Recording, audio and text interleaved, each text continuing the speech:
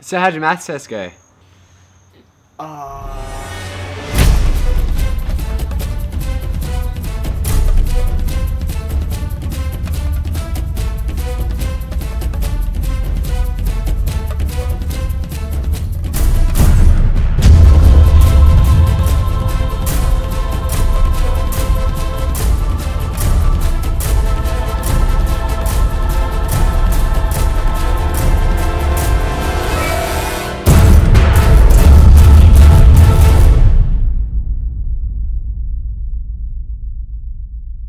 So do you reckon you'll pass?